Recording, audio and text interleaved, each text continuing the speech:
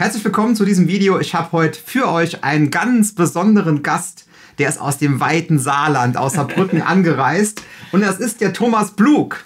Moin, moin. Und der wird euch heute den langen auf dem Channel geforderten Amp, boah, ich habe bestimmt 20 oder, nee, mehr, ich habe 50 E-Mails. Kannst du nicht mal den Amp One von Blue Guitar zeigen? Und mhm. da muss ich ganz kurz Story erzählen. Ich hatte schon ein Video drüber gedreht. Ich hatte einen ganzen Tag Videos drüber gedreht und wollte es dann schneiden und ich hatte das Ding schon wieder einem Kumpel, der mir es ausgeliehen hat, zurückgegeben und da war die SD-Karte defekt und äh, wollte es dann direkt eigentlich wieder machen, kam nicht dazu und habe mhm. dann auch gedacht, warum frage ich den Thomas, ob er mal vorbeikommen will? Mhm. Und äh, nach einem Jahr haben wir dann einen Termin gefunden und jetzt ist er da. Hurra! So, Thomas, erzähl mal was zu dem Amp One. Ja, also den gibt es ja schon eine Weile. Ne? Also wir haben jetzt, keine Ahnung, sieben Jahre oder so M1s äh, in der Welt gesehen. Und ähm, was mich freut, ist, dass es immer mehr Leute gibt, die dem M1 vertrauen. Das Problem am Anfang war, ich bin mit so einer Kiste gekommen und die Leute, die mich kannten und wussten, wie ich live klinge, äh, mit Röhrenamps und die haben mich dann mit dem neuen M1 damals gesehen und haben gesagt, klingt ja genauso wie immer. Die haben gedacht, ist in Ordnung. Aber die meisten Leute hatten am Anfang Schwierigkeiten damit zu glauben, dass so eine kleine Kiste ähm, eigentlich ein richtiger Amp ist. Ne? Und mittlerweile gibt es halt mehr davon, auch Profis, der Ian Crichton von Saga und der Adrian Vandenberg und also Namen, die haben eigentlich alles und die sind mit dem Zeug unterwegs. Äh, das hilft. Ne? Mhm. So. Ja, ich habe es auch nicht kapiert am Anfang. Ich habe gedacht, das ist ja äh, wie so ein Multi-Effekt. Und ich habe auch erst gedacht, das ist digital. Und mit der Endstufe habe ich gedacht, der ist so klein, so leicht, das kann nicht sein, dass da eine 100 Watt Endstufe drin genau. ist. Habe ich wirklich gedacht, ja. ja. Wir haben vorhin noch drüber geredet, guck mal, hier geht ein Netzkabel rein, da geht ein Speaker-Kabel raus. Also eigentlich, was man vom richtigen Amp kann. Und wie kann das sein, dass mit 1,2 Kilogramm ein normaler Röhrenamp ersetzt werden kann, der sonst 19 Kilo wiegt. Also, ne, also für 10 Kilo Röhrenamp kriegst du vielleicht 50 Watt maximal. Also wenn du musst du ganz schlank bauen. Aber äh, so ein 100 Watt Amp, der geht in die Richtung 20 Kilo. Und das liegt halt daran, dass äh, ich mir vor wirklich schon vor über zehn Jahren Gedanken darüber gemacht habe, wie geht denn die Geschichte der Röhrenamps weiter? Und es wird immer Röhrenamps äh, auf der Welt geben, aber ich überlasse das anderen weil ich auch weiß, die Röhren werden immer schwieriger zu finden. Also das heißt, früher gab es mal Röhren äh, von äh, in Amerika, in China, im Ostblock und Russland und so was. Jetzt haben wir noch das Problem mit Russland. Ne? Ähm, und die Röhren sind halt äh, beim Vollröhrenamp einfach ein kritischer Faktor, weil du hast ja nicht eine, sondern hast ja gleich mal fünf oder noch mehr. Ne? Und äh, wenn die Toleranzen haben, klingen die Amps halt unterschiedlich. Und deswegen, sagen wir so ein Röhrenamp von einer Boutique-Schmiede, wo dann der Meister persönlich die Röhren selektiert und noch ein bisschen nachbessert, dass das alles rund wird und der Amp so klingt, wie er sich das vorgestellt hat, ist super. Das geht auch heute noch. Aber wenn jetzt so ein Standardhersteller kommt, das wird immer ungenauer. Und ich, mir war das alles bewusst und deswegen habe ich gesagt, Moment, man braucht moderne Bauteile, die das gleiche machen, die voll analog sind, aber Toleranzen von 1% haben. Und das ist der Unterschied. Die Röhrenamps haben Toleranzen in den Röhren, die sind 20%, in den Potis, die haben 20%, die Bauteile haben 10, 15, was weiß ich. Das sind richtig große Toleranzen. Hier sind wir bei 1%, 5% oder bei den Reglern. Das ist das anachronistischste, die normalen Regler, die haben 20 Prozent. Und da habe ich dann die quasi vermittelt, indem ich die beiden kombiniert habe. Das gleicht sich meistens aus, dann komme ich dann halt näher an das. So. Ja, wissen die meisten Leute nicht, dass äh, so ein Poti einfach eine super Toleranz hat und dass, wenn du das gleiche einstellst auf einem anderen Amp, dass äh, nur wegen dem Poti, man, du kriegst denselben Sound. Du musst es nur eventuell nicht auf 5, sondern auf 5,3 stellen. Und das wissen die meisten Leute nicht. Ja, ja, Deswegen ja. sagen sie, probieren dann zum Beispiel auch so eine Digitalsimulation aus, stellen es genau ein wie ihren Amp wissen aber nicht, dass ihr eigener Amp zu dem anderen Amp, den sie nebendran stellen, auch unterschiedlich klingt. Ganz genau. nee, und ich mache das ja quasi als Entwickler jetzt seit Jahrzehnten und äh, wir messen das nach. Also messen ist immer eine schöne Sache. Man kann halt feststellen, ähm, wenn ich das irgendwie höre und wenn ich das messe, äh, kann ich mich ja selbst auch überprüfen. Und ähm, ich kenne auch natürlich die Fallen, aber mittlerweile vertraue ich einfach immer mehr meinen Ohren wie den Zahlen. Die Zahlen sind ein super Hinweis für was, aber wer nur auf Zahlen geht, äh, der kommt nicht an. Äh, deswegen hören, drehen, fühlen, hören ist gut. Und dann kann man es messen und meistens stellt man fest, scheiße, die Kurve ist sogar wie die andere gemessene von einem anderen Gerät oder von was auch immer. Also wichtig. Hören ist wichtiger als äh, Messen, ist zum Überprüfen der Wahrnehmung, aber nicht als Selbstzweck. Super. Apropos Hören. Lass uns mal ein Beispiel spielen. Bevor du was spielst, muss ja. mal kurz noch sagen, wie die Signalkette ist. Also ja. äh, Thomas geht direkt in seinen Amp One, mhm. nichts davor geschaltet. Nein, Gitarre. Dann gehen wir aus dem Amp One raus in eine Nanocap, die hier hinter uns steht. Vor dem Nanocap ist ein Shure SM7B Mhm, der große Bruder vom SM57. Genau. Ähm, Geht, ja, mag ich auch, mag ich persönlich auch. Ich also, auch. Also ich bin so ein Freund von dem ähm, Mikro und natürlich dem 57er. Das 57er ist immer ein bisschen sehr in die Fresse. Ähm, und das hier hat ein bisschen mehr untenrum und ich mag das. Mhm. Also geiles Mikro. Äh, von dem gehen wir raus in meine RME Soundkarte, eine UCX2. Und das ist genau das, was ihr jetzt auf euren Ohren hört. Ich nehme das mit Cubase auf. Eventuell mache ich einen kleinen Bass-Cut oder so, aber ansonsten hört ihr genau das, was das Mikro aufgenommen hat. Ich mache da jetzt nicht lang rum, bin ich auch ehrlich gesagt viel zu faul für. Mhm. Aber ihr hört das, was aus der Box rauskommt, genau. mit dem Closed Mic vorne dran. Was wir noch haben, äh, ist, ich habe genau. parallel dazu die Blue Box äh, hier angeschlossen. Im Prinzip ist das äh, wie ein IR-Loader. Ähm, der hat aber ähm, 16 fixe Cabinets, das sind meine, meine Cabinet-Sammlung quasi mit einem Soundregler Edge und Center. Das heißt, ich habe es hier auch noch ein bisschen wärmer gedreht, aber das ist alles Geschmackssache. Ne? Ähm, da kann man nicht viel einstellen. Das klingt so, wie es klingt, aber wie du auch eben so beim Soundcheck bemerkt hattest, ähm, ja, ähm, klingt gleich. Ne? Ja, klingt so. ziemlich genau gleich wie die Abnahme von der Box, was äh, erstaunlich ist. Ja, und ähm, was halt das Besondere an dem Ding ist, da ist ein Übertrager eingebaut. Das heißt, äh, äh, man kann mit einem XLR-Kabel wie mit Mikrofon auf der Bühne hantieren und man kann kein Brummproblem bekommen. Das ist wichtig, also weil ich bin so ein Bühnenmensch, bei mir muss es halt auf der Bühne idiotensicher sein. So äh, ähnlich wie die iBox ist das, ne? Genau. Ja. Also das ist quasi ein IR-Loader und eine DI-Box in einem Gehäuse. Und bei mir per persönlich auf meinem Pedalboard habe ich eine Gaffer drüber geklebt, weil das so klingt meine Box, so klinge ich und da dreht keiner mehr was dran. Und ich habe auch probiert, äh, also entweder muss der Mann an der PA gar nichts mehr machen oder er hat ein Problem mit seiner PA und dann muss er halt was machen. Ja. Aber, aber ich fange nicht an, den Sound. Äh, das funktioniert also du immer. nimmst das, du nimmst nicht mehr mit Mikro ab. Nein, und ich habe es original, ohne Scheiß, ich habe es verglichen. Ähm, pass auf, jetzt kommt noch, noch äh, Nerdy Story. Ich spiele selber die Fat Cap, das ist die Nummer größer. Ähm, und ich habe in die Fat Cap ein SM7B eingebaut gehabt, als es noch kein Blue Guitar gab. Das war meine eigene Box, da gab es noch gar kein Blue Guitar. Ähm, äh, ich habe mir einfach eine Box gebaut, die ich selber haben wollte, um keine 4x12er Boxen zu schleppen. Und äh, die hat eine spezielle Bassportierung und la la la la. Und weil ich damals auch äh, keine Redbox von Jusen Kettner wollte, weil es geht ja vielleicht besser, habe ich mir mein Lieblingsmikrofon, nämlich genau das, in die Box eingebaut. Ich habe die Kapsel ausgebaut, habe die vor den Speaker platziert mit einer speziellen Halterung. Oh, da muss er hin, Millimeter für Millimeter. Und habe den Übertrager, den Rest von dem Mikro in die Box äh, versenkt und hinten einen XLR-Anschluss gehabt. So, super, praktisch, einstecken, immer gleicher Sound. So, jetzt stehe ich auf der Bühne und habe irgendwann meine eigenen Produkte entwickelt und habe einen Sender, stehe am Mischpult, FOH und schalte so A, B um und denke, SM7B, aha, bisschen nah so, so. Und dann gehe ich auf meine Bluebox und sage, Jungs, ich brauche nie wieder das Ding. Also ich bin mit der Lösung privat, kann ich einfach nur sagen, äh, an, an der Mikroabnahme vorbei. Ich habe sogar auch die letzten äh, Aufnahmen für, für also eigene CDs oder jetzt bin ich gerade mit Ben Grenfeld, so ein finnischen Gitarrist, eine, eine, eine CD machen mit zwei Gitarren und so. Ist alles Bluebox. Weil ich habe meine eigene Box, die ich hier in der Bluebox nach ähm, gebildet habe, noch, immer noch mikrofoniert in meinem Studio.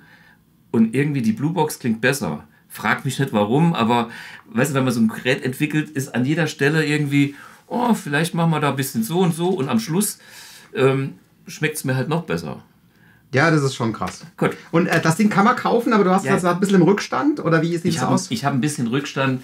Ähm, wir kriegen noch ein paar irgendwo hin äh, und dann muss ich einen Nachfolger bauen. Also wer eine hat, seid, seid froh. Wer noch eine haben will, macht schnell, bevor es keine mehr gibt. Und äh, Weil der, der Chip ist irgendwie aus oder der, was? ja, der Chip, der Chip ist ein Riesenproblem. Ähm, wir kratzen und vielleicht können wir aus irgendeiner Quelle noch ein paar äh, kaufen und dann noch mal ein paar bauen. Aber äh, weißt du, der ist nicht mehr, der ist, der ist quasi abgekündigt. Und das ist, da gibt es noch Restbestände irgendwo auf der Welt. Und dann haben manche Leute, die wollen da irrsinnige Summen haben. Dann werden wir bankrott oder müssen viel zu viel Geld für das Ding verlangen und das ist halt doof. Aber gelegentlich taucht mal irgendwo was auf, dann kaufen wir wieder welche und dann, Sehr geil. ja, so, sammeln. Ähm, soll ich mal was spielen? Ja, spielen wir was. Okay, also. Fangen wir mit Clean Sound vielleicht mal an. Genau.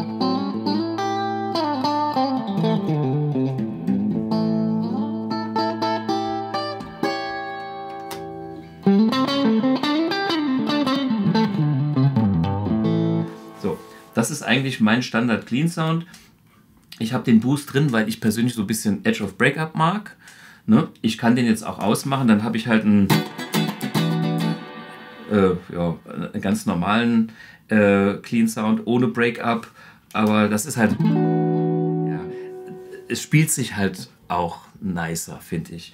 Gut, vielleicht ein bisschen viel Hall gerade so. Äh, ne? Der Hall ist auch da drin und der ist digital. Der ist digital, klar, weil hier rappelt nichts. Äh, und man muss aber dazu sagen, für all die Nerds unter euch, natürlich wird der analog dazu gemischt. Genau. Das ist, ich bin der totale, also wir haben uns eben gerade auch gemeinsam ein bisschen über die digital, analog, ähm, sagen wir mal, puristische. Da gibt es noch ein getrenntes Video zu, ja, weil da haben wir es jetzt nicht direkt mit. aber, aber es ist so, ähm, ich, ich persönlich versuche alles, was analog geht, zu machen, weil analog keine Latenz hat, weil analog keine Begrenzung hat und so weiter. Ich kenne mich analog gut aus, habe aber überhaupt nichts gegen digital, weil die Bluebox ist digital, der Hall ist digital, die Schaltfunktionen im M1 sind digital, weil das einfach besser funktioniert wie so einen alten Fußschalter von Anno dazu mal, wo du dann Kontaktschwierigkeiten hast. Ne?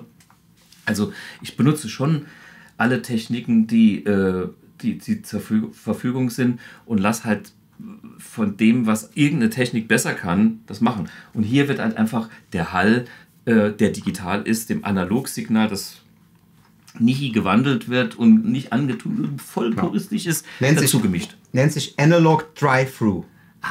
So, sehen Sie? Und das machen manche Hersteller von Effektpedalen auch und manche machen es nicht. Ja. Und es wäre schön, wenn man das quasi wie bei der Milch Bio anzeigen würde. Genau. Das würde so viele Probleme äh, äh, reduzieren. Also Kunden haben manchmal Probleme bei meinem M, weil die haben so ein, so ein Gerät, wo halt digital dry gemischt wird. Und dann hast du das Riesenproblem, dass wenn das in einem parallelen Effektweg verschaltet ist, du Phasenprobleme hast. Kann man bei mir umschalten, bei anderen Amps manchmal auch. Ähm, aber äh, wenn man weiß, wie man damit umgeht, kann man ultimative Ergebnisse erzielen in der Technologie und in der Verbindung von analog und digital. Ne? Also digital ist nicht böse, digital ist geil, analog Ja. ist geil. So, aber hier der Ne? Hall, Best of both worlds. Genau. So der Hall ist, ich sage mal so ein möchte gern Federhall, äh, noch nicht nicht so ganz boingy, springy, aber es ist einfach ein Hall, äh, weil wenn er aus ist, fehlt manchmal mal. Ne, das ist schon ein bisschen so Außer für Metal, da ist Ja. dann geil. genau, aber Krasse aber, aber so für, für allgemein ist es ganz nice, einen Halt zu haben. So, ähm, ich habe jetzt die Klangregelung hier mal bewusst auf äh, Mittelstellung gelassen, 555. Ähm, warum? Weil ich äh, so den Amp mir gedacht habe. Ähm, man kann von dort aus natürlich alles möglich machen. Mitten rein. Mitten raus. Würde ich nie machen. Also mitten raus, nur so ein Mühe. Also sagen wir mal so auf äh, 4, 3, 4 reicht schon. Bei meinem nächsten Amp geht das alles gar nicht mehr. Da passieren nur noch wertvolle Sachen. Aber äh, ich sage mal so, reindrehen ähm, ist, ist bei meinem Amp kein Problem. Merkt man, dass es immer noch ausgewogen klingt.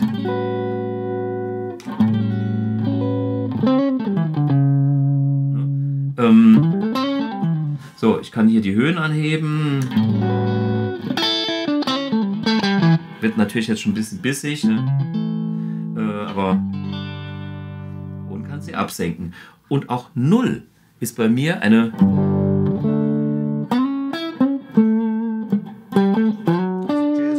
Ja. Okay. Ähm, aber das, das klingt jetzt äh, äh, immer noch nicht kaputt. Ne? So, und der Bass. Ne, kann man hören. Ähm, Bass ist halt so eine Sache, wie viel Platz man in der Band hat, denke ich. Also ich habe es ganz gern mit ein bisschen, ich weiß nicht, wie du so. Ja, also so viel wie, wie, wie es wie durchgeht. Ja. ja. Also wie, bevor jemand sagt, ey, du bist kein Bassist. Ja, äh, genau, geht mir ähnlich. Deswegen habe ich auch meine Fat Cap und äh, das dicke äh, Shure-Mikro. Also, äh, ne, also alles, was bei mir so auftaucht. Äh, ich habe ja eine relativ dünne Gitarre. Ne, die Strat hier ist sehr ähm, pinzig, strat, stratisch, strattig. Ähm, ähm, und dann habe ich immer, äh, in meinen jungen Jahren hatte ich mal einen dünnen Sound, weil ich so einen Mesa Boogie hatte. Der hat keinen, der hat untenrum zu wenig gehabt, das war ein Combo, ne? Und das hat Ja, kenn ich. Eher so.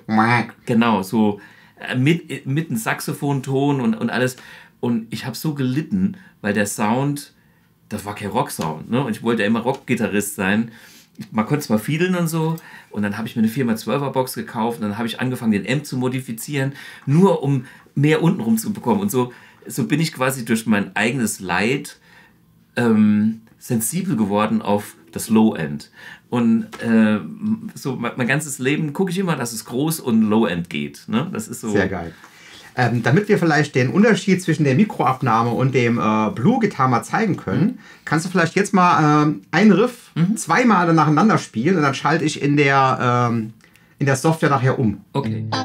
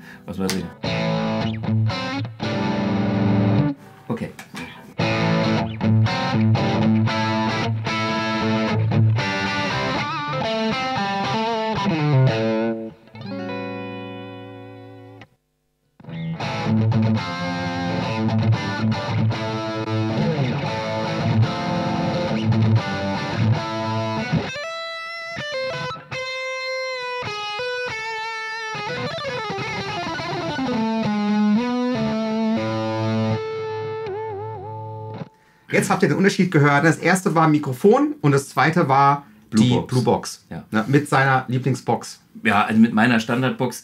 Andere Leute haben andere Lieblingsboxen, ähm, aber dafür gibt es dafür halt 16 in der Blue Box.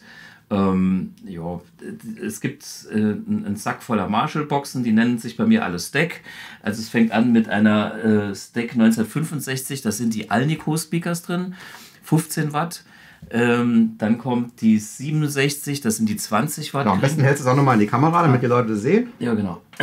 Also, fangen wir nochmal vorne an. Also, das, das erste äh, Stack 65 ist Alnico äh, loaded, ähm, 15 Watt Celestian Speaker in der Marshall Box. Dann kommt die 67, das sind die 20 Watt, was der Eddie auch so gern gespielt hat. Dann kommt die 70er, das sind die 25 Watt. Und übrigens nochmal Bass aus einer Bassbox. Also das kommt aus einer äh, 55 Hertz Bassresonanz äh, Marshall Bassbox, die ich immer als Gitarrenbox gespielt habe. Auch mehr Bass als andere. Dann kommt die 71er, das sind so Blackbacks, ziemlich kratzige Speaker, so à la Scorpions. Die Stack 1980, das ist die klassische Marshall-Box, die, wie heißt du, 1960 mit 75er. Ah ja, die überall in jedem Jo. Dings drin ist. Ne? So. Ähm, äh, CL80, das ist eine Metal-Mischung aus oh, irgendein 80er Speaker von Celestion und noch was anderes drin. Metal V30 kennt man halt irgendwie Mesa äh. Jazz Chorus 120, äh, Jazz 120.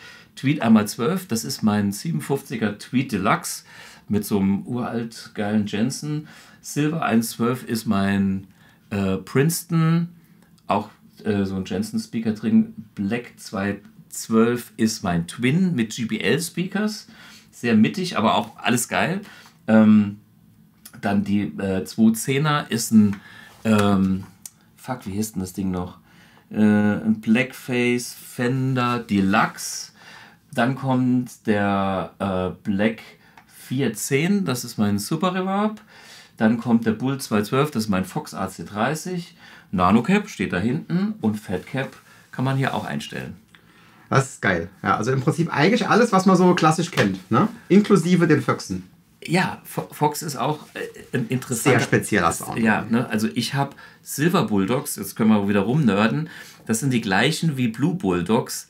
Ähm, da ist nur die Kappe silber. Also die wurden 1963, ist glaube ich meiner, ähm, ähm, haben die die Farbe gewechselt, sind aber genau die gleichen Speaker. Laut Ja. Aussage Captain äh, von Guitar Lounge. Ah, ja. Ne? Also äh, ich bin ja auch so ein bisschen connected mit den ganzen Nerds und äh, ich habe mir oft wenig Gedanken gemacht über, ist das jetzt original oder so. Was, was geil klingt, habe ich immer gekauft und dann hinterher sagt einer, äh, das ist das ja und ich so, oh, ne? irgendwie ich habe so teure Gitarren früher gekauft, als ich Workshops gemacht habe im Musikladen. Was willst du denn da für die 335 haben? Oh, oh ist schon, äh, sagen wir mal, 800 Mark und so. Und heute äh, holt, was hat einer? Ey, das ist, das ist ja, das ist ja eine von 64 äh, mit den Original und, und so. Ich so, kann sein, keine Ahnung. Ne? Oder hier meine Les Paul, äh, Nils Finkeisen, ich weiß nicht, kennst du? Äh, Number One spielt bei Krupps und so weiter. Ey, Blugi, du hast doch irgendwie deine äh, Seriennummer, sagt er. Das ist eine 68er von den ersten 400, die Gibson damals äh, nochmal gebaut hat, nachdem äh, die Les Paul eingestellt wurde, 1960. Also äh, nach 60, ne? Gab es eine Lücke bis 68. Und das war eine, die hat Gibson auf die NEM-Show damals mitgebracht. Der konnte das alles eruieren. Und ich so, oh, interessant, ne? Und dann hat er gesagt, vielleicht ist das Holz auch noch von 59. Habe ich gesagt, Alter, ist mir scheißegal, ist meine Gitarre, ich habe sie bezahlt.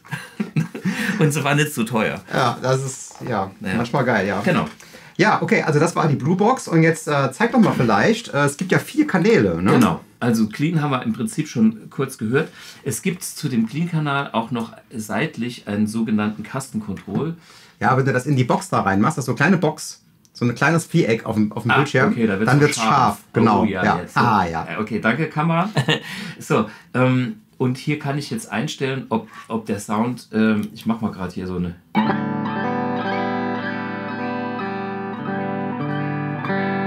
Oder ein bisschen, es ist nicht viel, aber es geht darum, ich nenne das mal so zwischen Tweet, in der Mitte ist Blackface auf Silverface Fender, um zu, zu machen.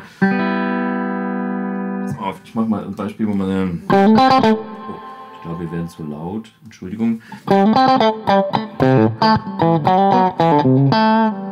So, und dann drehe ich mal in die Mitte.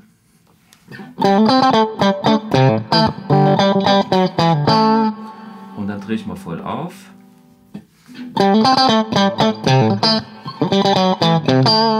Ne? Es, es ist quasi das kleine Unterschied zwischen, ich nenne es einfach Tweet, Blackface und, und Silverface. Mal so. Ah. Also wir können auch das Viereck verschieben. Mach mal. Ja, warte, warte, warte, warte, komm, ich schieb mal die Kabel. So, Ja, genau, ne? so. Hm?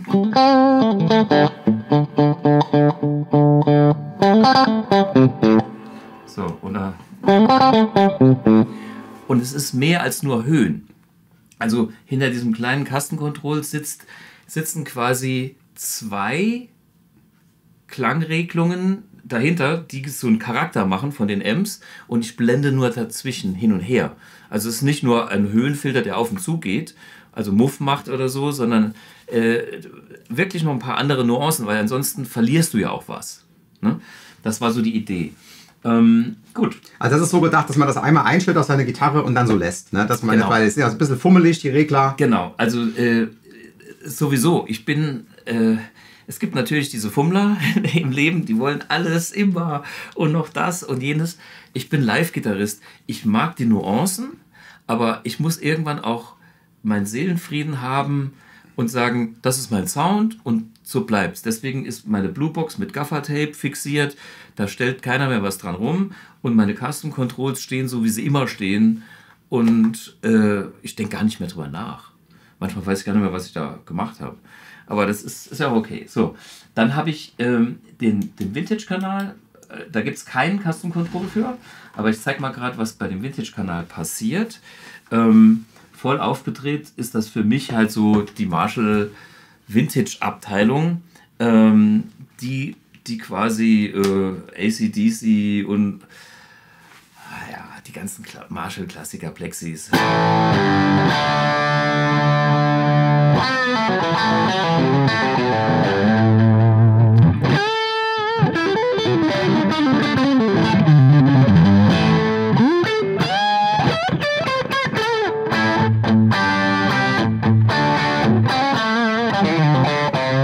So, das Ding lässt sich halt abdrehen. Das ist halt.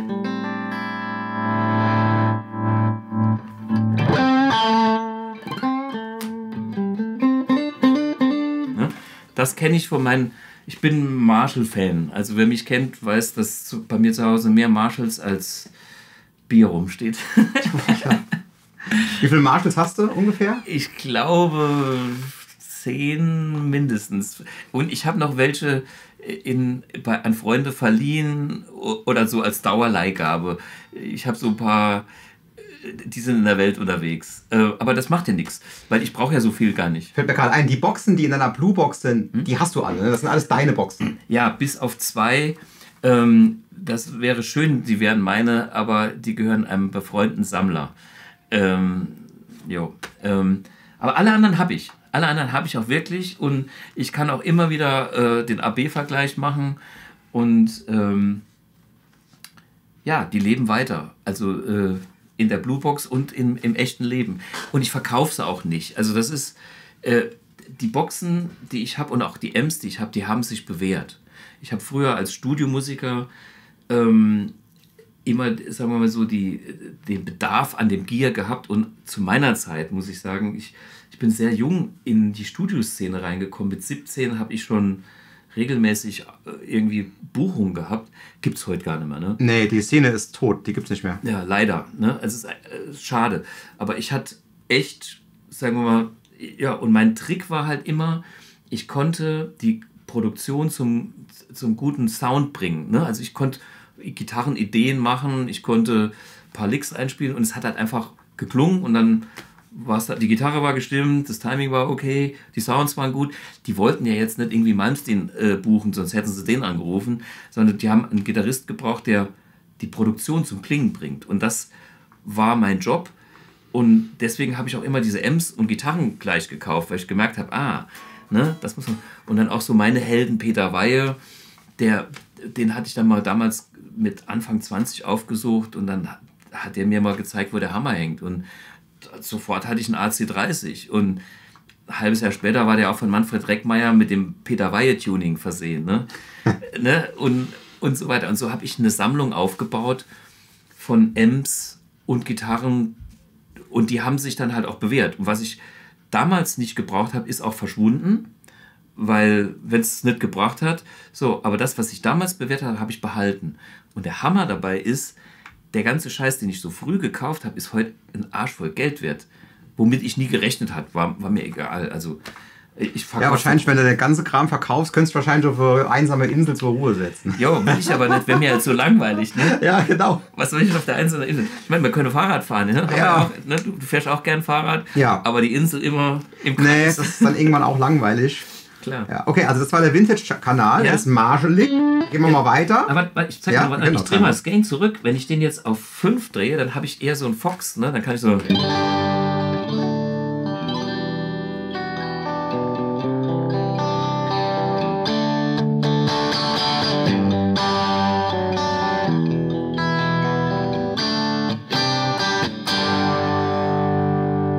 Sehr geil. Ne?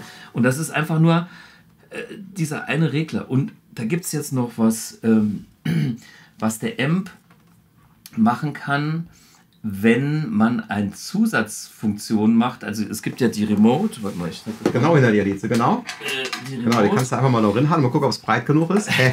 Oder hier in die Kamera, genau, Ja, die ist so. breit genug. So, und die Remote ist im Moment leider auch ausverkauft, kommt aber nächstes Jahr wieder.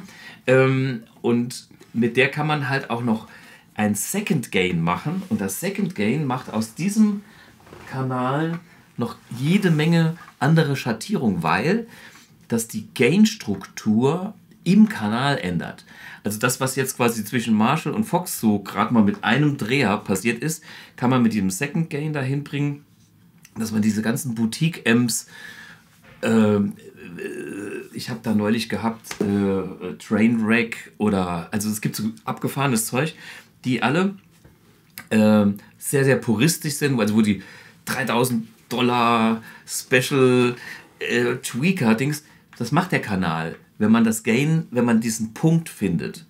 Und das geht, äh, achso, und für die, die jetzt ganz aktuell gibt es diese One Control, das ist ein Mini-Pedal, mit dem kann man das halt auch machen. Kann ich ja mal gerade Äh, machen. wie, wie, wie funktioniert denn das äh, rein technisch? Ich meine, du hast ja. die Funktionen sind ja alle in dem Teil drin. Ne? Die sind Genau. ja nicht in der Remote. Die Remote remotet nur. Ganz genau. Und äh, kann man das auch über MIDI ansteuern? Genau. Also, das ist halt so wieder der Spezialo hier. Es gibt eine Fußschalterbuchse, steht Footswitch dran, die kann aber drei Sachen. Normale, dumme Fußschalter, also Doppelfußschalter, damit kann man dann Clean Overdrive und Boost schalten. Die gleiche Buchse erkennt aber unseren MIDI-Adapter. Der MIDI-Adapter hat ein MIDI-Interface im 5-Pol-Gegenstück eingebaut. Also in den in de, das Ding denkt jeder, das, äh, warum, ist das, warum kostet das scheiß Kabel 50 Euro? Ah Ja, ganz einfach, weil wenn man das mal auseinander nimmt, sieht man, dass da noch acht Bauteile im Stecker verbaut sind, so kleine Optokoppler und Scheißdreck. Ne? Und das erkennt der Amp selber, der merkt dann, was da angeschlossen ist. Und der erkennt dann auch zum Beispiel, ob diese äh, äh, One-Control angeschlossen ist oder unsere Sache. Also das heißt, eine Buchse für drei Funktionen. Das ist äh, ja, unglaublich. Ja, pass auf. Und das, und das Ganze wird auch dadurch, dadurch noch mit, mit Strom versorgt. Ähm, Mit einem Zwei-Pol-Stecker. ja, das ist ein normales Gitarren- oder Patchkabel. Ne? So, und auch, und auch übrigens die Remote. Ne? Die Remote hat hier einfach nur ein Mono-Klinkenkabel. Ne? Mono. Äh, warum? Weil ich als Musiker gelitten habe mit Spezialkabel. Stehst auf der Bühne, hast einen Fußschalter und hast irgendwie den 7-Pol Special Möchtgern XLR. Ne? Weißt Ich habe ich hab ja mal Boogie gespielt und da hatte ich äh, Fußschalter für, es war ein Boogie Express und ich habe danach einen JP2C gehabt. Und das waren beides Kabel und ich dachte, die sind so dick, die haben irgendwie 1000 Pole, das werden schon die gleichen sein. Die machen ja nicht fünf, doch machen sie. Haben nicht gepasst. Ich habe Riesenkabel, die liegen immer noch da drin. Wenn einer eins braucht, ich weiß nicht genau welches es ist, schicke ich euch. Zahlt Porto, ich schick's euch. Und das ist so nervig, diese Spezialkacke. Deswegen danke. Es gibt ja. auch andere Firmen, die das machen, du dann äh, mittlerweile ganz viele Fußschalter über XLR. Ja, ja, ja. macht äh, Pro Stage hat als erstes gemacht.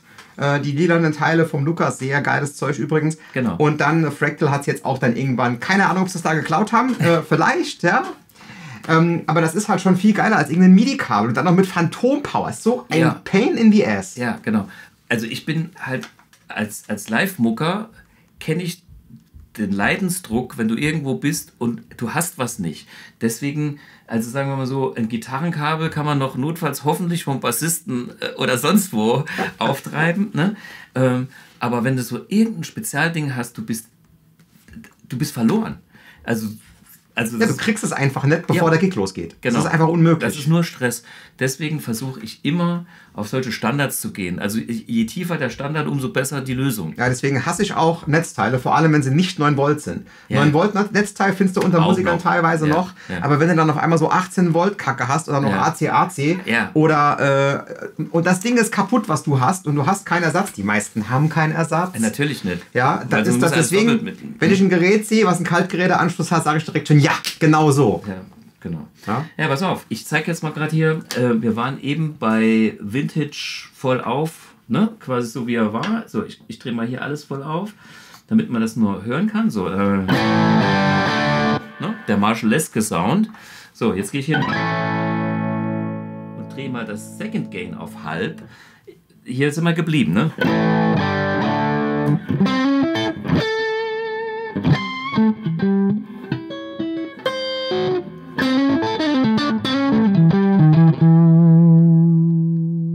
Drehe es mal auf Minimum.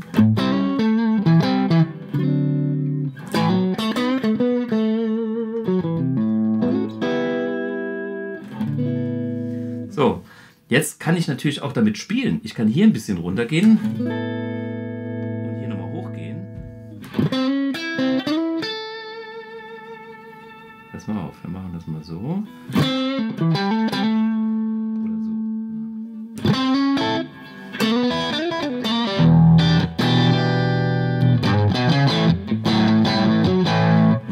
Oder ich nehme den Boost dazu. Also ich kann nicht.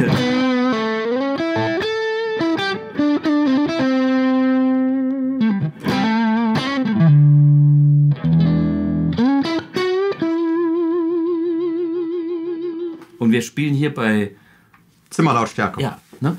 das, das ist halt das Besondere. Ich habe quasi diesen, ne?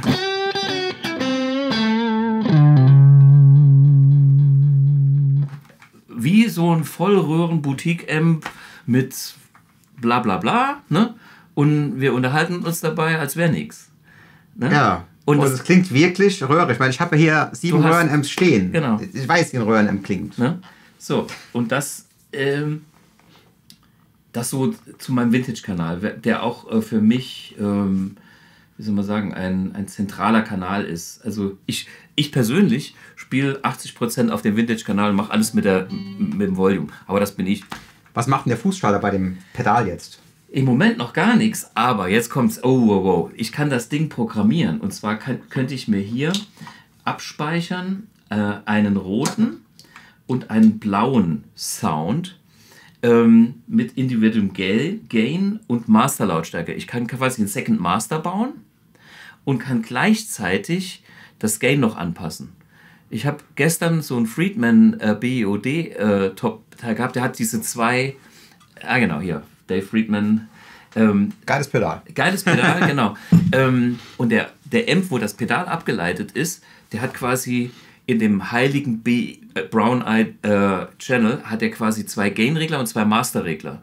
Dann kannst du quasi einen Rhythmus Gain und Rhythmus Lautstärke einstellen. Du kannst auch gleiches Gain einstellen, nur Lautstärkeunterschiede oder nur Gain-Unterschiede oder irgendwas. Und das gleiche geht hier auch. Du hast hier Gain und Master und kannst dann zum Beispiel sagen, ich hätte gerne Rhythmus-Sound, ähm, der ist so laut und hat ein bisschen weniger Gain, damit ich ein bisschen trockener bin und, ne, und, und, und hat ein bisschen mehr Gain.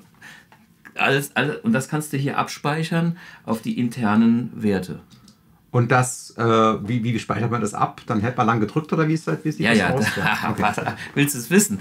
äh, ja, weil ich irgendwie ist hier so ein kleines. Pass auf. Ich sage jetzt einfach, ich hätte gern das wenige hier und hier machen wir mal volle Suppe. Ne? Nur so, so. so, jetzt drücke ich hier, warte bis es blinkt und dann speichere ich es drauf ab. So, jetzt gehe ich hin und drehe das Ding voll auf, nur damit man einen Unterschied hört. Ne?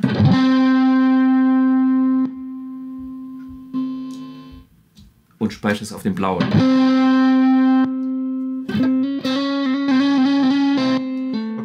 Es gibt blau und rot und wenn lila ist, dann hast du was editiert. Genau. Oh, smart. ne? Also, ey, das ist nur eine Dual-LED, mehr gibt's nicht, aber wir haben äh, ne, zwei Farben.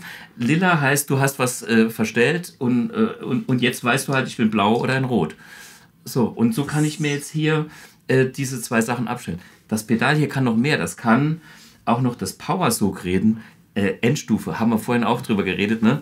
Ähm, bei mir arbeitet die, die, die, die Nanotube in der Endstufe. Ähm, aber das ist mehr als nur die, die reine Röhre. Also ne, die Leute denken immer, ja, da hat ja eine Röhre und das ist alles, die, die Röhre macht alles.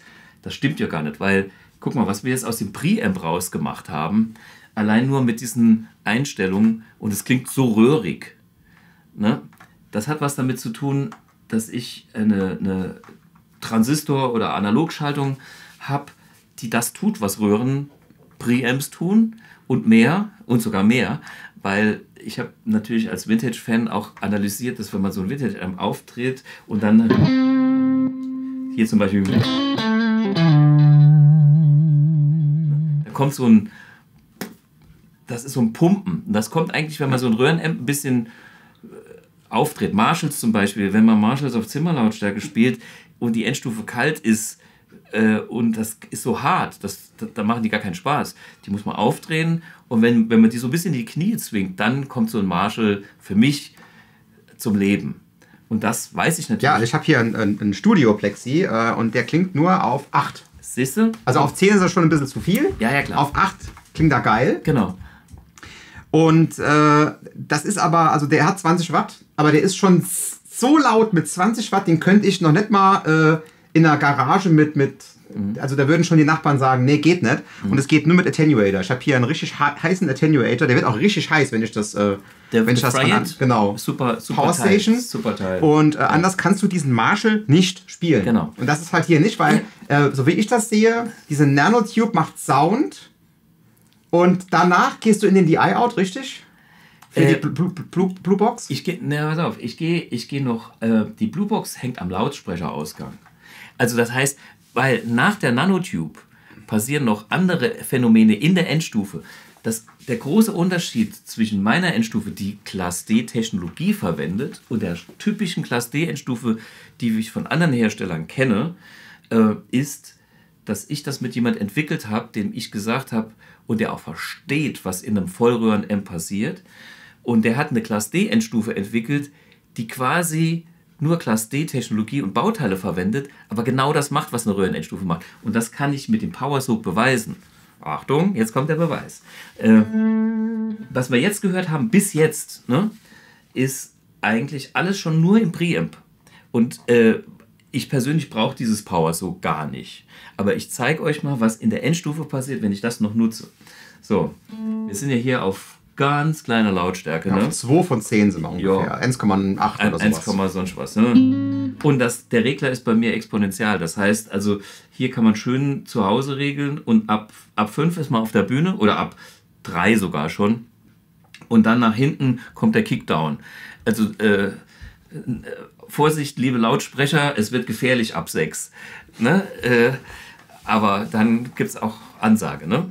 Ähm, weil das Ding kann mit einem 100er Marshall mithalten. Also für die Momente im Leben, wo man das mal braucht, ist es da.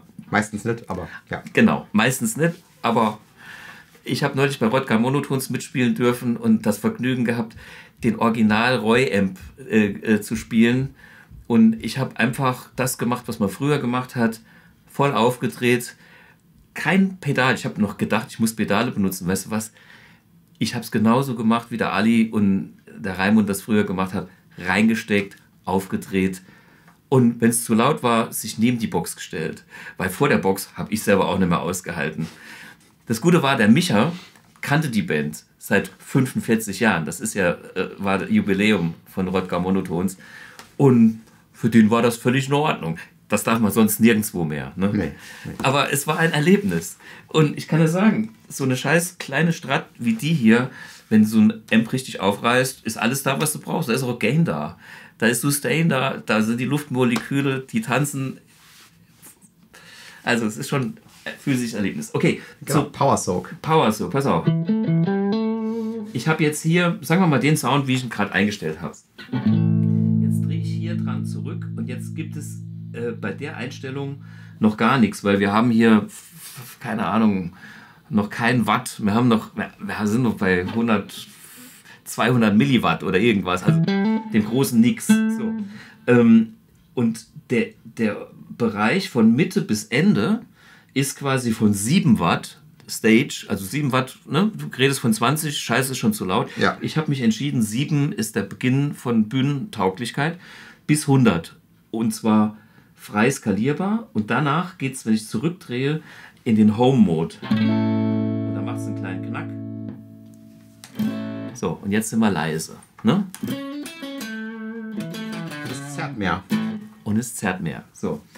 Ähm, ich muss eins dazu sagen, der Stage-Mode, wenn es da lauter ist, ist 100% soundneutral. Wie du selber auch weißt, ist es ja so, die, die ganzen Power-Soaks unterscheiden sich eigentlich, was sie mit den Amps machen. Viele kastrieren die Amps und der Frayette macht es am wenigsten. Saugeiles Teil. Ne? Ähm, und das ist so, alles, was hier auf Stage Mode ist, ist 100%, sagen wir mal, unangetastet und skaliert nur die Leistung der Endstufe runter. Ähm, so, wenn ich jetzt hier. Damit es so klingt, als ob sie voll aufgerissen wäre. Genau. So, jetzt kann ich hier mal runterregeln. Pass mal auf, wo man jetzt unter dem. Also hier ist dieser Bereich. Jetzt regle ich mal auf 2 Watt. So. 2 Watt Begrenzung. Und jetzt gehe ich mal hier hin und drehe mal die Endstufe auf.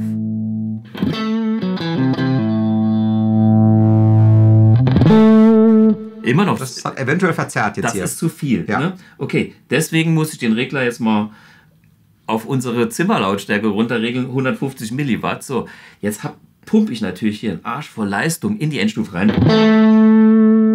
Ich drehe das Ding mal auf.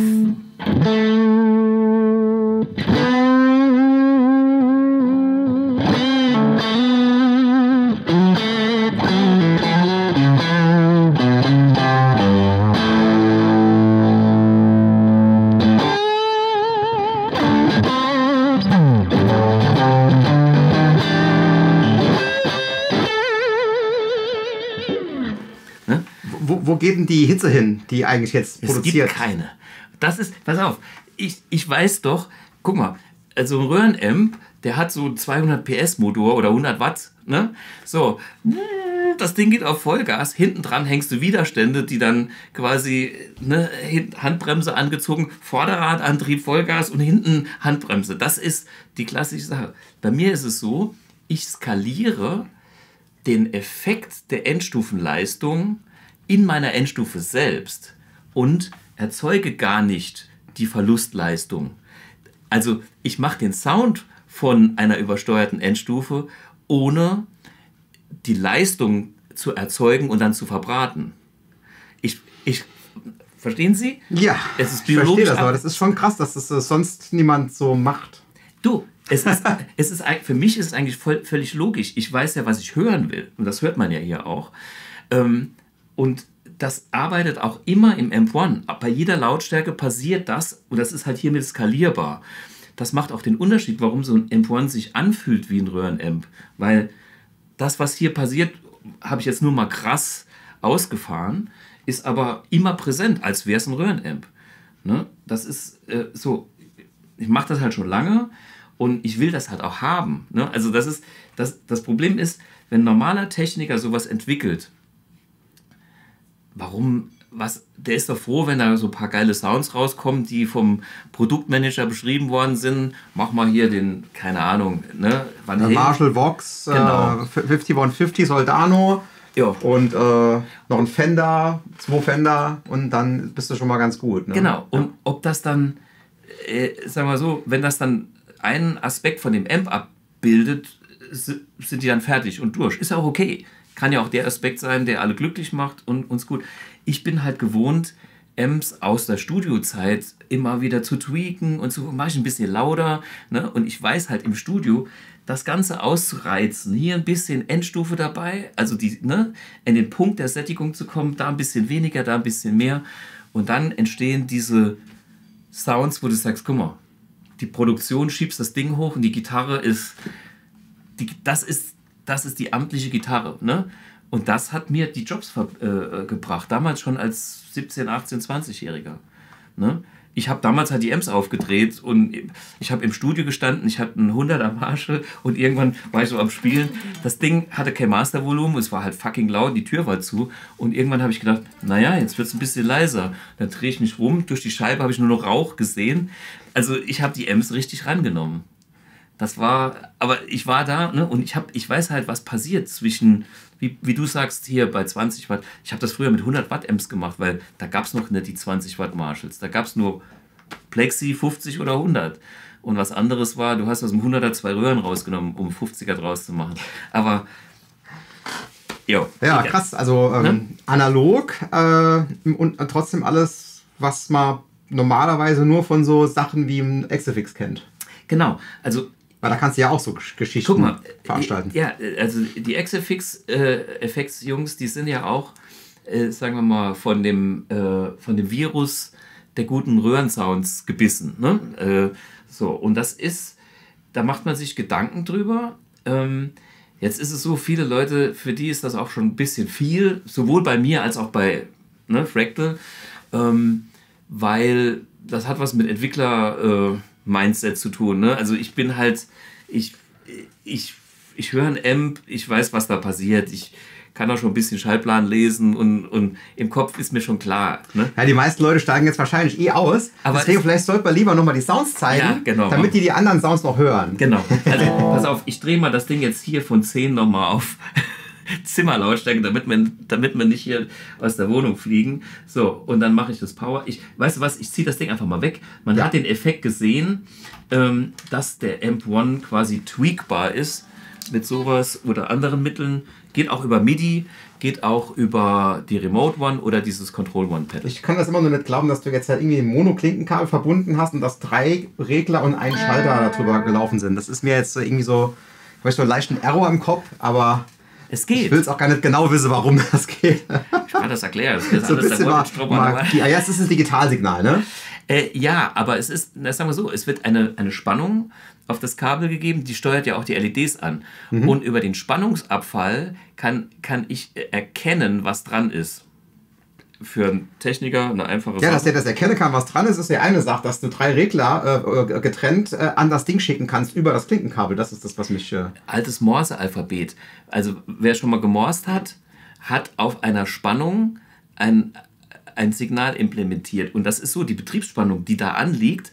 Und die wird dann abgesenkt durch die Steuerspannung, was eigentlich ein serielles äh, Protokoll ist, wie MIDI. Mhm. Aber das, die, Spiel, die Betriebsspannung, die da über diese Buchse übertragen wird, die LEDs, die wird moduliert. Und das ist die Information. Okay, dabei belassen wir es, weil ne? ich glaube, die Leute steigen aus jetzt. Aber okay, ich löse ja die Probleme nur, damit es andere äh, nicht haben. Du ja, steckst rein und es geht. Kein MIDI machen muss. Genau. Sondern einfach ein Klingelkabel hat, was geht. überall rumfliegt. Genau. So, das ist so da. Okay, das war der Vintage, aber jetzt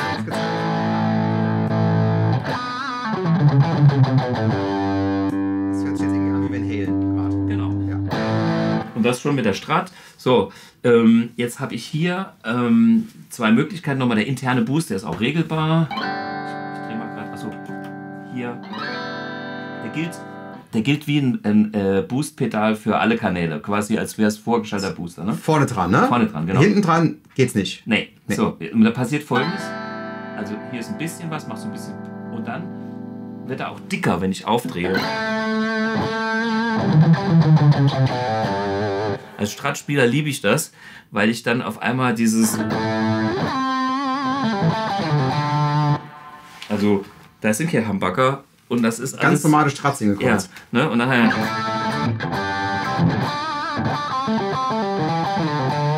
So, dann gibt es hier nochmal den Side äh, Custom Control. Moment, wir haben ja, genau, ins, eben ins Quadrat. So. Ja.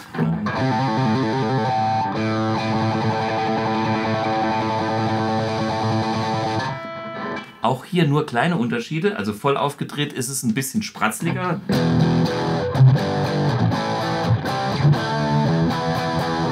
Okay, andere Seite.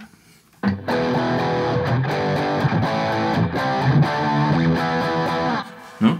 Und alles dazwischen. Ähm, damit kann man halt, ohne dass man jetzt die Klangregelung überhaupt jemals angefasst hat, dem, dem, dem Grundsound einen anderen Charakter geben. Ne? Bin ich halt eher der 80s-Typ, der 70s-Typ oder was auch immer, in dem Kanal. Ne? So, dann geht's weiter im Modern-Kanal.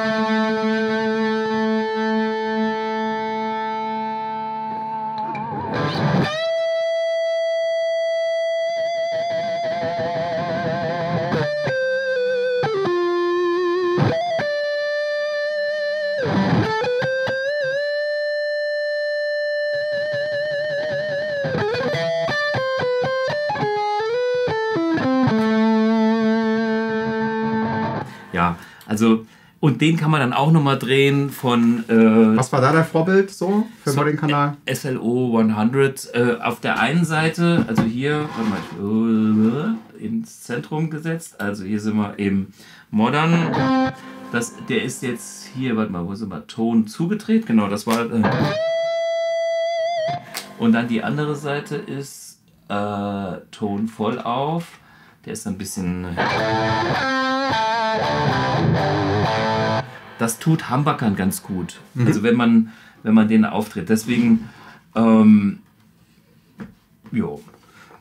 Genau, vielleicht gerade noch mal ganz kurz mit der ist, Ja, gerne, gerne. Genau, weil die liegt da. Die, liegt die da. geile. Genau, die geile Du, du geile Du. So, Strat kommt dahin.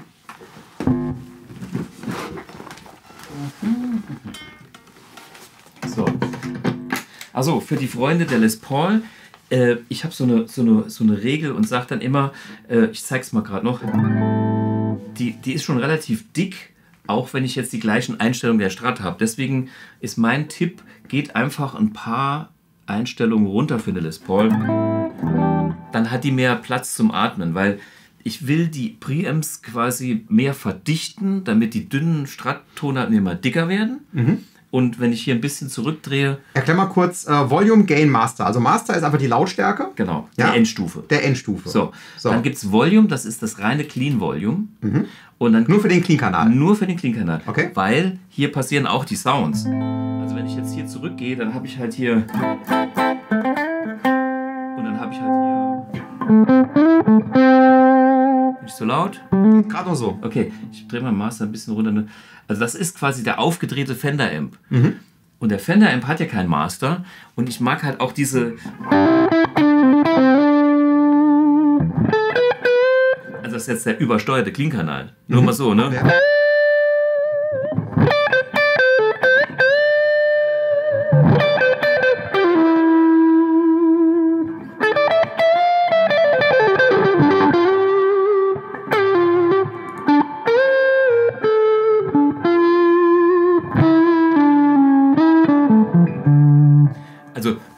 Da denke ich wieder als Amp-Mensch und nicht als Clean ist jetzt mein Clean-Sound, sondern ich denke, ah, Fender-Amp, den kann ich natürlich clean einstellen, da muss ich ihn halt nur abdrehen. Ne?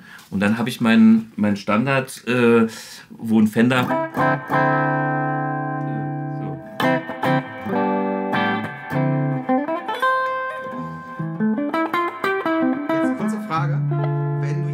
Gain und Master beim verzerrten Kanal hast, äh, beeinflusst Master den Sound oder ist das nur eine Lautstärke-Angleichung, damit du den Volumen von dem Fender so aufdrehen kannst, wie du es Bock drauf hast? Ganz genau, das Okay. ist der Punkt. Also der Master hier ist soundneutral, der Gain macht Sound und der Clean Volume macht auch Sound. Ne? Okay.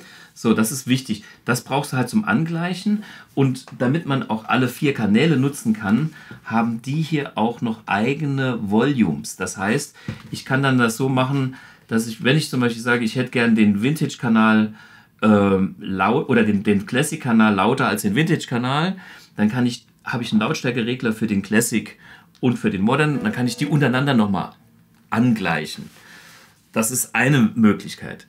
Du kannst aber auch deine Einstellung in diesen Fußschalter programmieren, weil die Fußschalter sind ähm, halt Die Einstellung von dem Masterregler ist digital. die ein nee, nee, nee, die Einstellung der Schalter am Amp, das heißt welcher Kanal aktiviert ist, Ja. welcher äh, Boost, Hall und, und ob der Effektweg an ist. Das kann ich hier alles in die internen Fußschalter abspeichern. Aber keine Lautstärken. Keine Lautstärken. Alles da, bin, da da sind hinten die Regler für. Genau. Was ja auch einfacher ist und du kannst es dann schneller angleichen. Wenn du jetzt merkst, der Lead-Sound ist heute Abend irgendwie zu leise, gehst du hin an den kleinen Regler Und und, ähm, wir müssen, auf, müssen Ja. aufpassen, dass wir jetzt hier nicht ins Saarländisch verfallen, weil Ei, Ajo. Ähm, ja, äh, die Leute werden wahrscheinlich schon einiges drunter geschrieben haben. Wenn sie so lange überhaupt geblieben sind, wir sind bei fast einer Stunde. Ne, wir sind bei über einer Stunde Das schon. ist normal. Ja, wunderbar. Aber pass auf, ich spiele mal noch gerade den Vintage-Kanal mit der Gitarre, da müssen sie schon noch schnell durchmachen, weil das ist nämlich auch Genau. geil.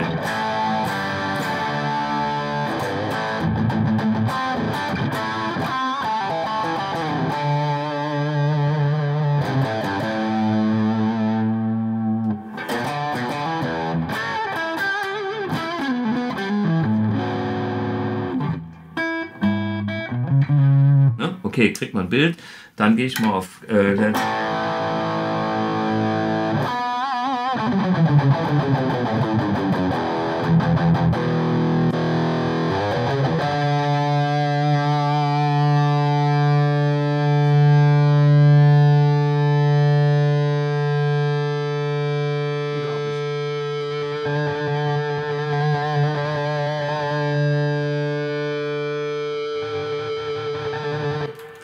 Also, Zimmer- dass bei Zimmerlautstärke das Ding koppelt, Ja. ist schon Wahnsinn, ja. Das ist das Ergebnis meines puristischen Ansatzes. Verstehst du? Weil, also, äh, sagen wir, ich, ich sage immer, es gibt viele Wege nach Rom und es ist, manche Sachen sind halt, äh, wie soll man sagen, das, das mag ich halt an der Analogtechnik. Ich habe keinerlei Wandlung, ich habe keine Latenz, ich habe keine Frequenzbeschneidung, außer es sind gewollt. Das ist systemisch gesehen für mich natürlich das, wo ich sage, das ist wie Bio, das ist halt natürlich gewachsen oder äh, so. Ich habe selbst einen Digital-Amp entwickelt, der auch da versucht ranzukommen und ich weiß, wie viele Stunden man da tweaken muss. Die Jungs heute sind weiter, ist alles gut.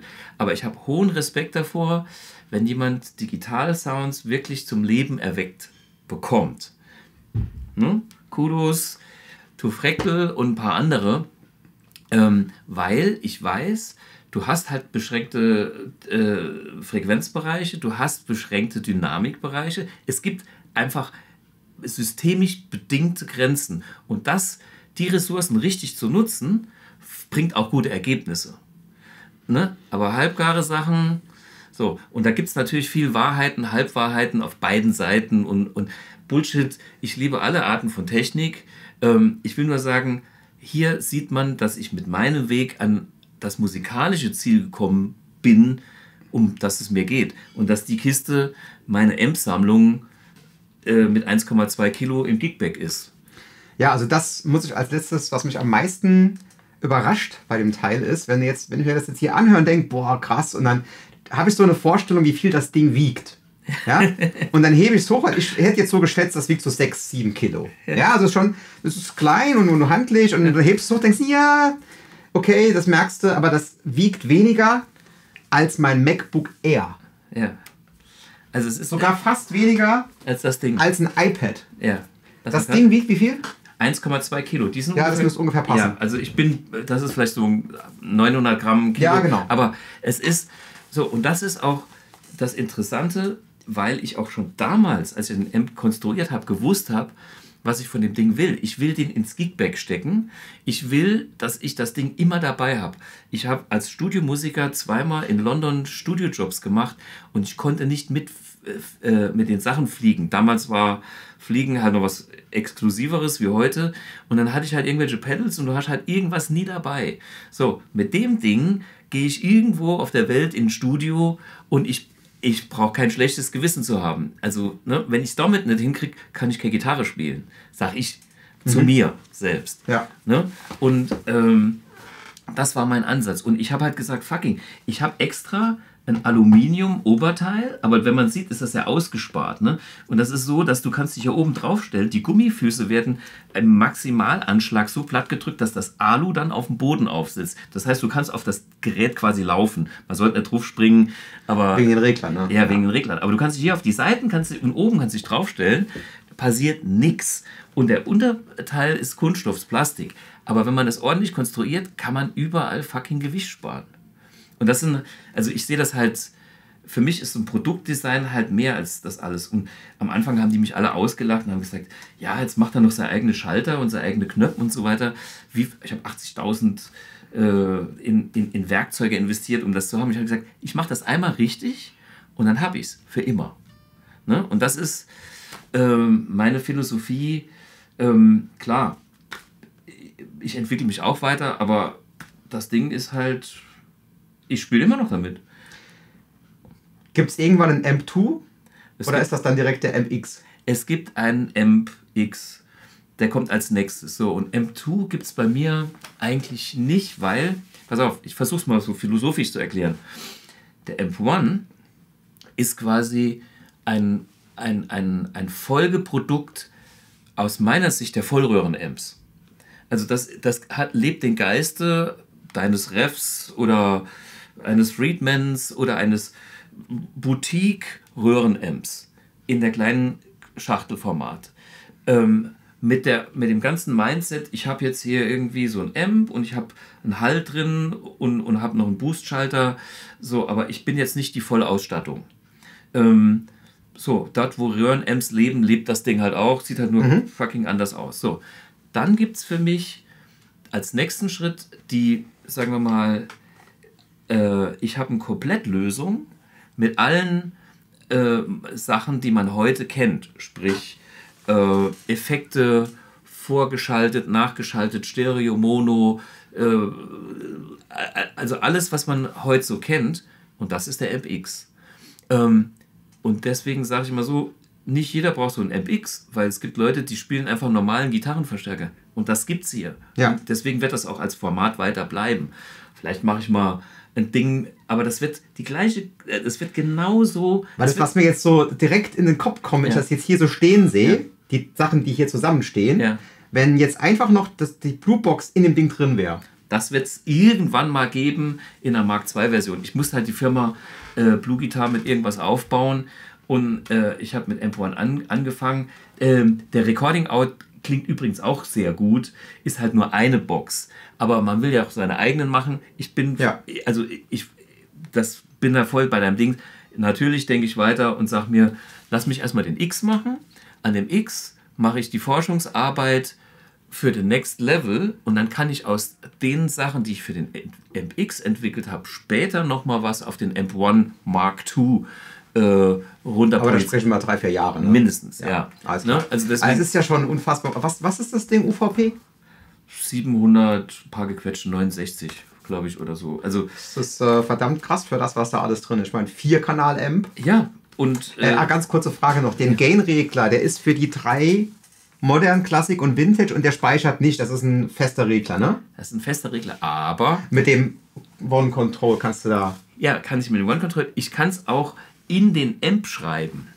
Das ist das Interessante. Es gibt Also einen- nochmal einen zusätzlichen Volume praktisch. Äh, nee, ich kann zum Beispiel sagen, ich, ich hätte den Vintage, äh, sagen wir so, wenn ich die One Control nicht mitnehmen will, weil mir, ich will nur den Amp und sonst gar nichts, Ja. kann ich hingehen und kann von der One Control einen Wert senden, den ich äh, jedem Kanal zuordnen kann. Und dann ist das so.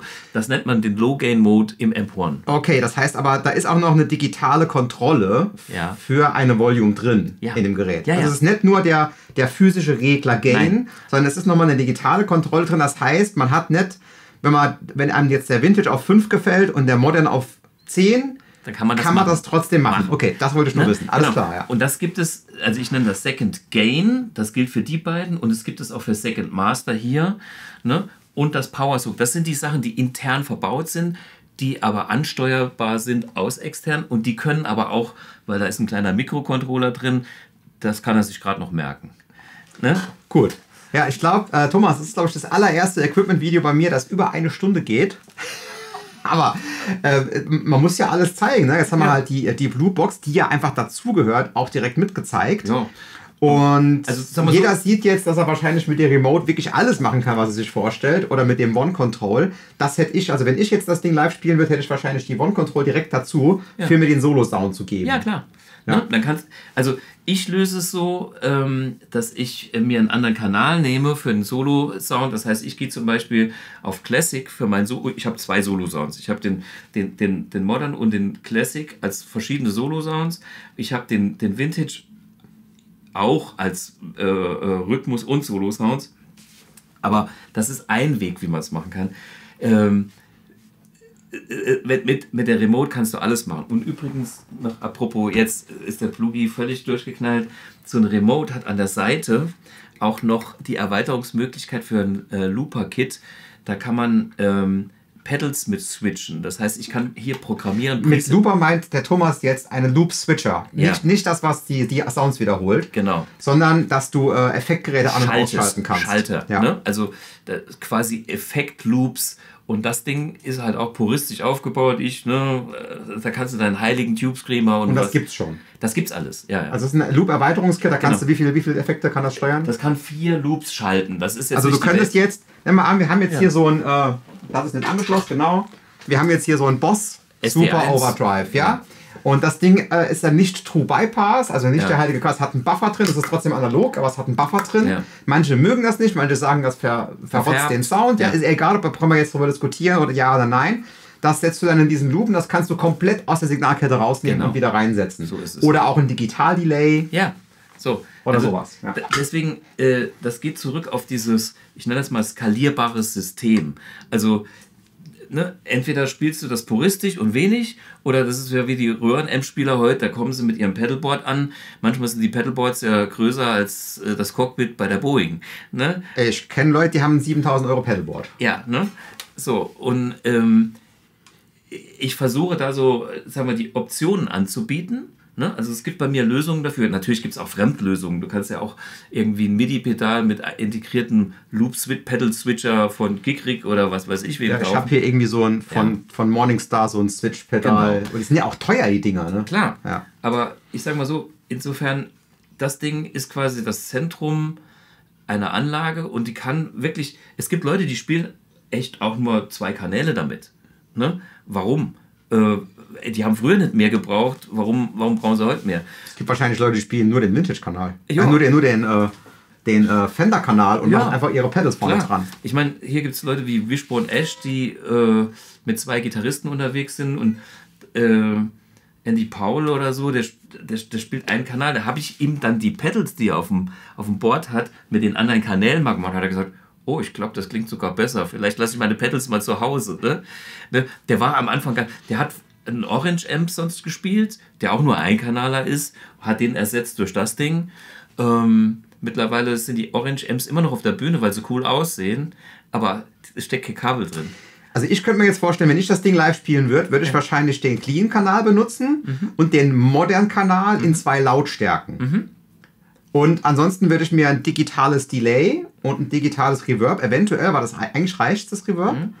Und würde mir noch einen Chorus. Und dann bist du fertig. Und dann bin ich fertig Ja. eigentlich. Oder vielleicht noch einen Kompressor vorne dran.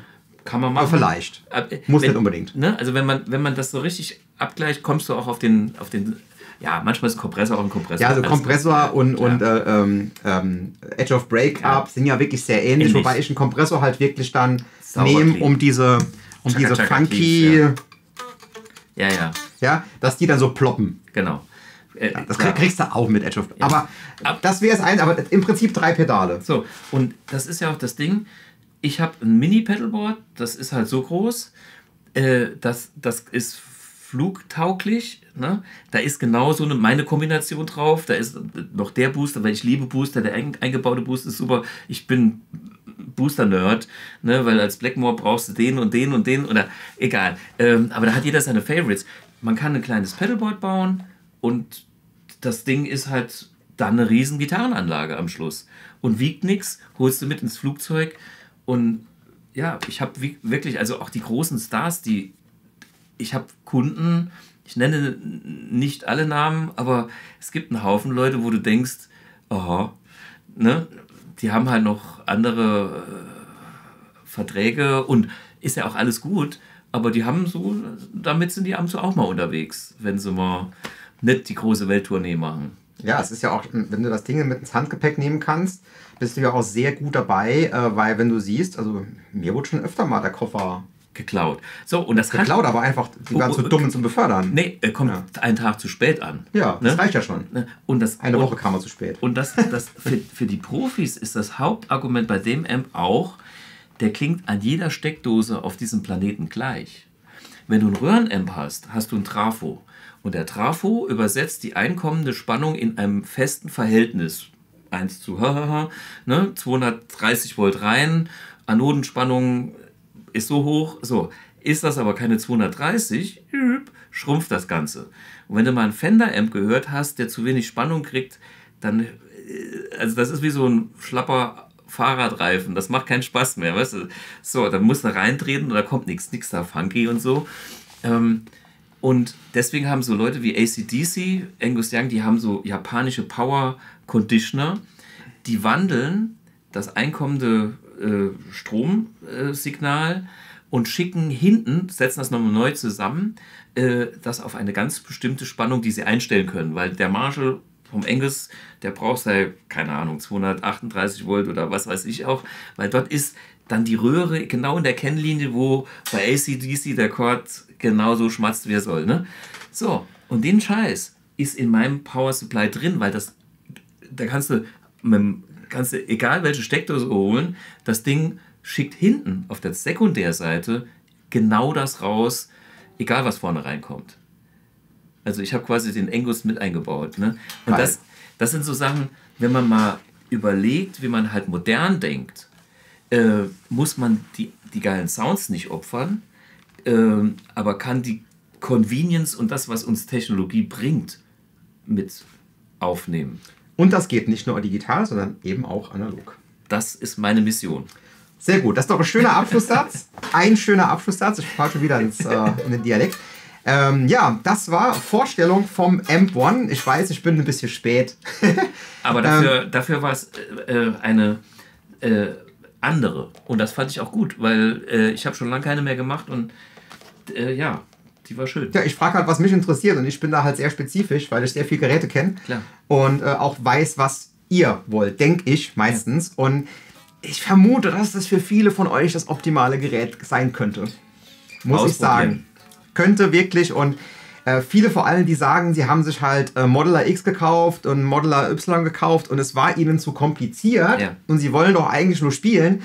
Dann sollte man sich vielleicht das angucken und vielleicht ignorieren, dass es mit der Kontrolle ja. und so, das ist vielleicht dann auch zu kompliziert. Aber das Ding allein so, wie es da steht, kann äh, klassischen Fender kann Marshall, einen klassischen Marshall, Marshall Hot Rodded Marshall und äh, Soldano. So ein bisschen foxig, ja. ja. Und der soll, also es klingt wirklich, ich, Soldano Sound ist bei mir fest drin, weil das mein Lieblingssound ist. Ah, der Modell klingt genau wie Soldano. Mhm.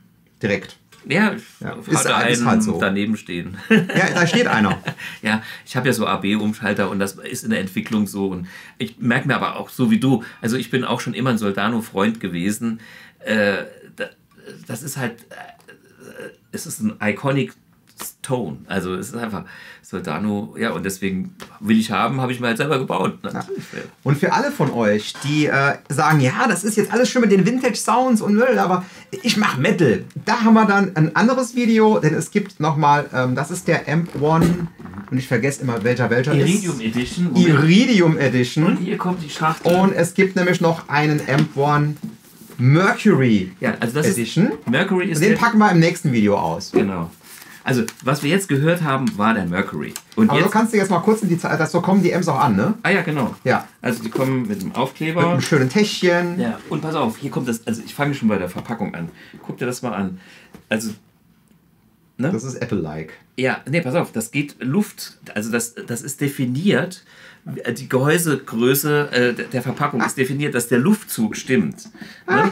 So, und das nächste Hast du dir echt Gedanken drüber gemacht oder das war kein Zufall wahrscheinlich? Ne? Nee, dann, natürlich. Ich, so, und das nächste ist, die, die matte Verpackung ist beschichtet, dass kein Staub, äh, Staub oder Kratzer drauf hängen bleiben. Das heißt, die kannst du da schön ins, ins Regal. Egal. Wenn man es machen kann, mache ich es halt. Ne? Ja. So. Ja, geil. Das, so, das nächste ist, es kommt mit so einem Handtäschelchen, ne, Damen- oder Toilettenbeutel, eine Anleitung. Und äh, der Iridium hat noch eine extra Anleitung und äh, einem Netzkabel ne? mit Winkelstecker, damit man möglichst wenig äh, Platz auf dem, Pedal auf dem Pedalboard. Ja. So, und was übrigens alles nicht in der Anleitung steht, dafür haben wir eine eigene Knowledge Base. Das ist ganz wichtig, weil ähm, heute gibt es ja auch so Usergruppen, die M1-User und bla bla bla. Aber da kommt ja immer wieder was Neues an Erfahrung dazu. Wenn ich das mit dem kombiniere, so.